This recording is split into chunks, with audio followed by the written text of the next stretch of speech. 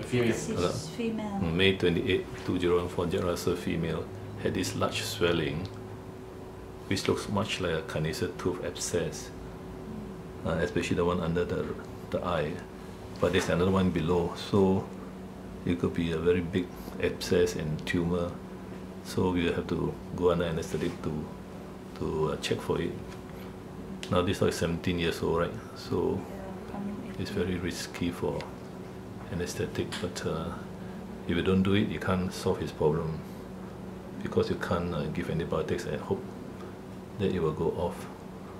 In fact, it looks like it's going to rupture. So, like this case, it, it looks like there's the carnassial tooth abscess, as in this illustration.